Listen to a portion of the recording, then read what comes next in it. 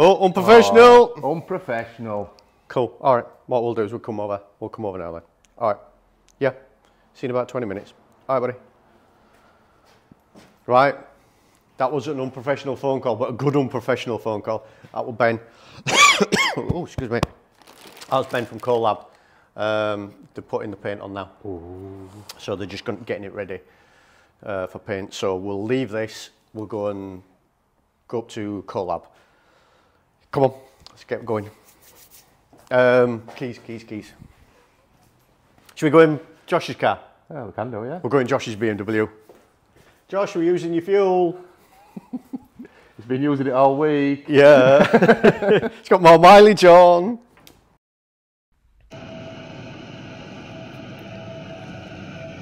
So that's the shell in the booth, all prepared and ready for three coats of base coat and then Ben's going to lay down three coats of clear lacquer.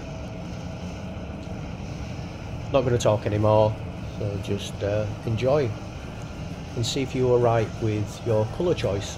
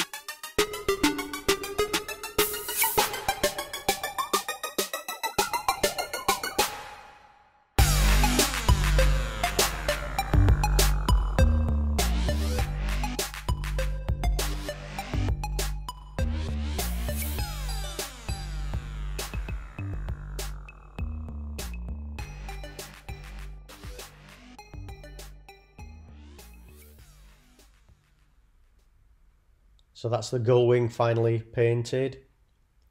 Told you I wasn't going to choose silver. Let me know your thoughts. What do you think of the colour?